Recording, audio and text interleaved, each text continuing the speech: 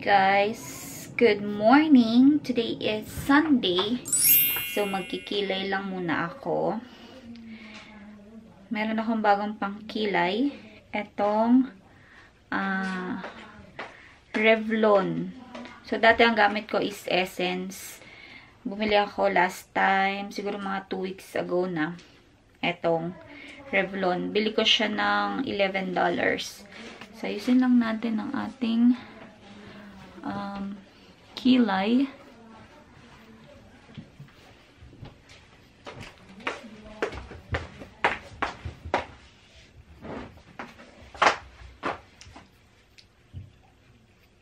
Ayan.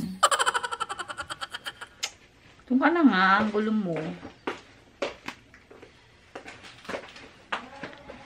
Tapos, i-fill lang natin itong I'm here. na ganyan lang ako magkilay guys. Fill lang yung space dito.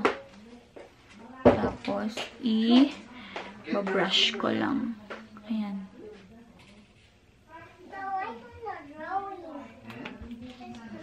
Tapos brush lang natin ito para ma-blend ng maayos. Ayan. Wait, wait, wait, wait. Dito ako sa kitchen kaya wala akong mirror sa harapan ko. Kaya dito ako nakatingin sa ano. Ikaw? Yes. Alam mo kung nasan yung ano ko? Alin? Yung lalagyan ko ng pera. Di ba kahapon binaba mo? Oo, hindi. Nandito ko nila. Kulang. Wala ah. Diyan sa ano, rocking chair. Tapos lagay lang tayo ng lip therapy na Vaseline. Hindi ko alam kung saan nilagay. And then, ang aking go-to na lipstick, 660 Touch of Spice. So, ayan.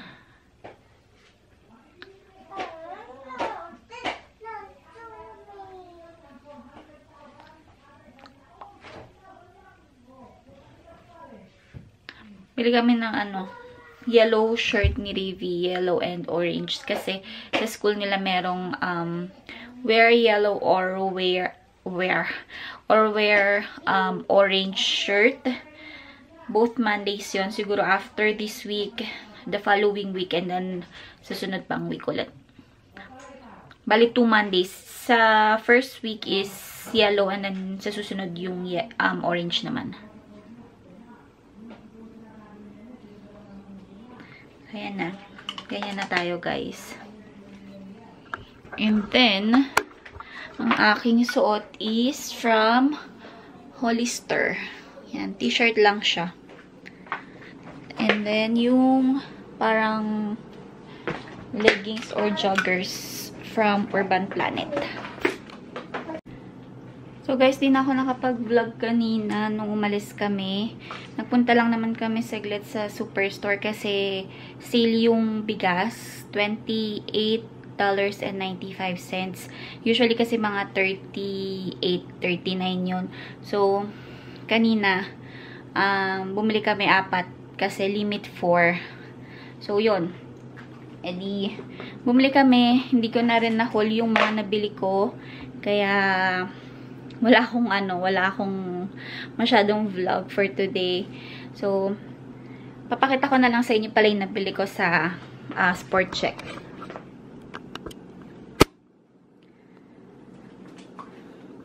So, ayan. Bumili kami ng shoes ni Ravi eh. Yung shoes na pinakita ko nung ano niya, nung dadali niya indoor shoes niya para sa school. Bumili kami ng ibang kulay nun. So, dalawa na yung ganun niya. Magkaiba lang ng color. And then, bumili kami ng slippers. Ito yung nabili naming slippers for Ravi. Under Armour siya lahat. So, ayan. Color, yellow, and orange. Medyo malaki pa siya for Ravi. Pero okay lang. Matagal niya nang magagamit yan. And pambahay lang naman din. So, ayan. Tsaka itong winter jacket. Yung chinelas na bili ko, $21. Sale na siya nun. Hindi ko alam yung original price, pero 21 yung binayaran namin. Tapos ito, Under Armour din to guys, ha. Ang... so, meron siyang ano eh. Meron siyang discount. Hindi ko na matanggal, pero... Ano ba to? Basta ito hindi ko na makita. Hirap tanggalin. And then, naging 181.99. Tapos, naging 126.97. Tapos, meron pa siyang additional 30% off. So, mga $88 ko lang siya nabili. So, this is Under Armour din. Ayan. Hindi siya pang ano, hindi siya sa mga pang women's na jacket. Pero okay lang kasi sinukat ko naman and sobrang fit sa akin. Tsaka warm din. So, eto guys, sinukat ko siya.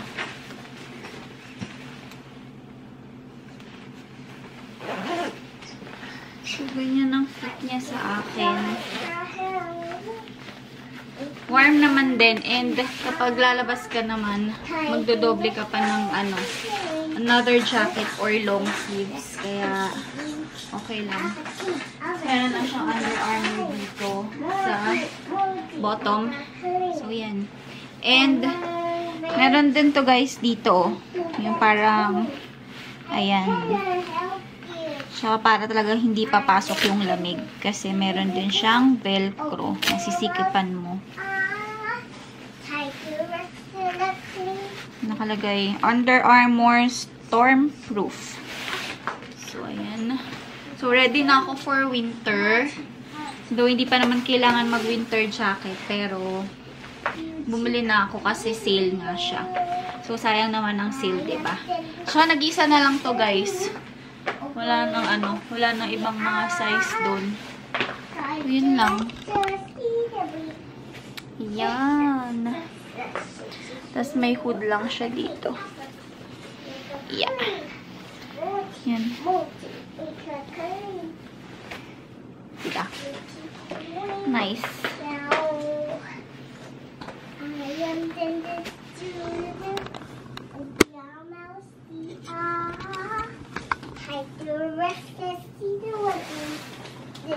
So, ganyan. And, ang gusto ko dito, yung haba din. Sakto lang din yung haba niya.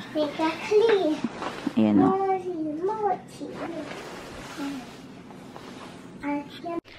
So, yun guys. Um, time check, it's 3.20 na ng hapon. Inaanto ako pero ayoko matulog kasi tomorrow is Monday. May pasok na naman. So, kasi matulog ng maaga mamayang gabi. Kaya, hindi ako matutulog ngayong tanghali. Hirap ko kasi makatulog pag nakatulog ako ng ano eh, ng hapon. Kaya, yun, pinipigilan ko talagang ano, uh, matulog. Si Ivor na dun sa ano eh, nasa labas.